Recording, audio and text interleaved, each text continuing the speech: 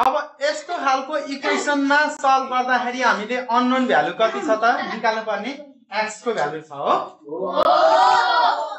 इक्वेसनमा चाहिँ के छ भन्दाखेरि इक्वालिटी एक्जाम युज गर्नुपर्ने छ। इक्वालिटी एक्जाम युज गर्दाखेरि हामीले इक्वल क्वान्टिटी चाहिँ एडिङ गर्न नि सक्छौँ सब्ट्याक्टिङ गर्न नि सक्छौँ मल्टिप्लिकेसन गर्न नि सक्छौँ र डिभिजन गर्न पनि सक्छौँ। ओके अब यहाँनिर छ। अब यहाँनिर नाइन एक्समा नाइन एक्समा कति एड गरेको छ भन्दाखेरि प्लस प्लस टू एड गरेको छ। प्लस टू एड गरेको छ र यतापट्टि छ। यतापट्टि छ। कति छ? ट्वेन्टी अब दुवैतिर प्लस गरेको छ भने चाहिँ प्लस छ भने के गर्नु पर्यो? और साइल सबैजना बोल्नु पर्दैन म आफै गर्छु कोही नबोल्ने plus two minus two zero nine x is equal to 20 minus 2.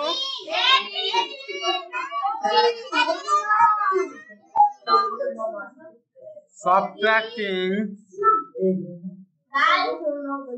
subtracting 2 on both sides. On both sides.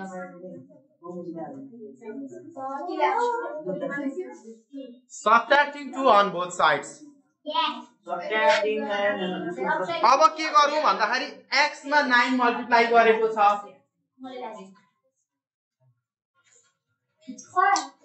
x मा 9 मल्टिप्लाई गरेको छ। मल्टिप्लाई गरेको छ भने इक्वेसनमा त्यसलाई हटाउनको लागि त्यही नम्बरले डिभिजन गर्नुपर्छ। यही हो इक्वालिटी एक्जाम भनेको है। इक्वालिटी एक्जाममा युज गर्दाखेरि मल्टिप्लाई गरेको छ भने यसलाई रिमुभ गर्नको लागि चाहिँ हामीले दुवैतर्फ दुवैतर्फ के गर्छौँ भन्दाखेरि नाइनले डिभाइड गरिदिउँ यो हट्छ त्यसपछि है? Okay nine one the nine nine to the eighteen there four x is equal to कति आउने भयो त? टु आउने भयो। अब यहाँनिर छ अर्को खालको छ है त। वानको जेमा छ। पेज वान हन्ड्रेड फिफ्टी थ्रीकै इक्वेसन टपिकमा छ? R by two equals to five छ। हाम्रो अननोन भ्यालु भनेको आरको भ्यालु छ? आरको भ्यालु कति भयो भने फाइभ हुन्छ भन्ने हो है? अब हामी त्यतिकै भन्छौँ कुन नम्बरलाई टूले डिभाइड गर्यो भने फाइभ हुन्छ? पक्कै यसको आन्सर आउँछ दस होइन? दसलाई दुईले भाग गऱ्यो भने पाँच आउँछ। भनेपछि अब हामी इक्वालिटी एक्जाम गर्नुपर्ने छ क्या। इक्वालिटी एक्जाम युज गर्नुपर्ने छ। त्यस कारणले इक्वालिटी एक्जाम नै युज गरिदिउँ यहाँनिर। ल ओके अब R by two equals to five छ हो। अब अननोन भ्यालुलाई डिभाइड टु गरेको छ। अननोन भ्यालुलाई डिभाइडिङ गरेको छ। अथवा भ्यारिएबललाई डिभाइड गरेको आएछ भने त्यसलाई हटाउनको लागि के गर्नुपर्छ?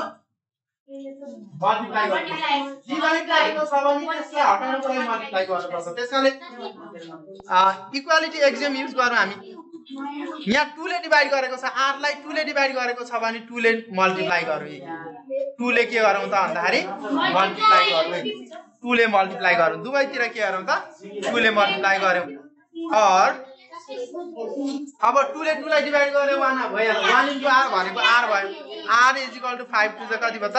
टेन अब कुन एक्जाम युज गरेको भन्दाखेरि मल्टिप्लिकेसन एक्जाम हो multi multiplying 2 on both sides.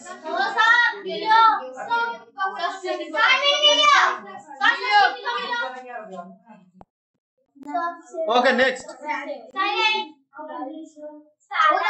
अब अर्को हेर त। Y minus four y by four minus three equal to one छ। हाम्रो भ्यारिएबल सँगै आएको टर्म भनेको y लाई फोर गरेर माइनस थ्री गरेको छ। यो माइनस थ्री गरेको जुन टर्म छ यसलाई हामी रिमुभ गरौँ। त्यसलाई रिमुभ गर्नको लागि हामी के गर्छौँ त भन्दाखेरि यसलाई सर्लक्कै यहाँनिर सारिदिउँ। इक्वल टु वान लेखिदिउँ। यहाँ वाइसँग हाम्रो के छ भन्दाखेरि वाइसँग माइनस थ्री सब्ट्र्याक्ट गरिरहेको छ भनेपछि प्लस इक्वालिटी एक्जाम युज गर्दाखेरि इक्वालिटी एक्जाम युज गर्दाखेरि प्लस थ्री गर्नु पर्यो। साइड कति गर्नु पर्यो त? प्लस थ्री प्लस थ्री गर्नु पर्यो। के भन्ने यहाँनिर? Adding adding three on both sides. फेरि आउँदा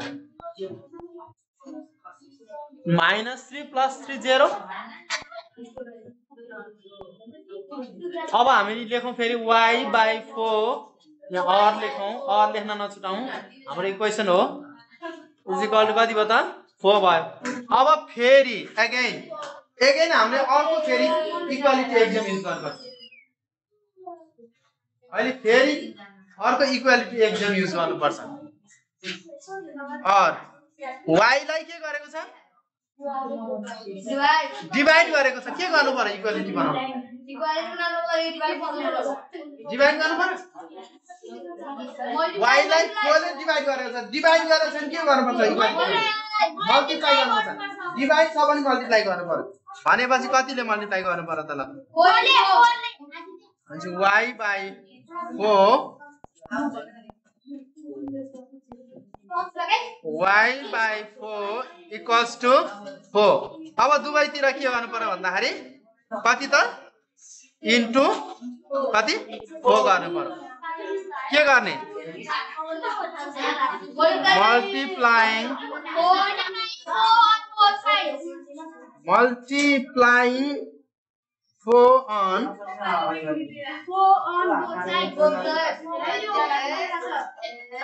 we get? We get? अब यसलाई काटिदिउँ। फोरले फोरलाई डिभाइड गर्छ। क्यान्सल भयो? वान टाइम्स भयो? अब हाम्रो आउँछ। एन्सर कति भयो भन्दाखेरि वाइ इक्वल टु कति लेख्न पाउँछौँ त? फोर छ। सिक्सटिन एन्सर भयो। ल है त। यस्तो खालको बुकमा छ खोजेर गर।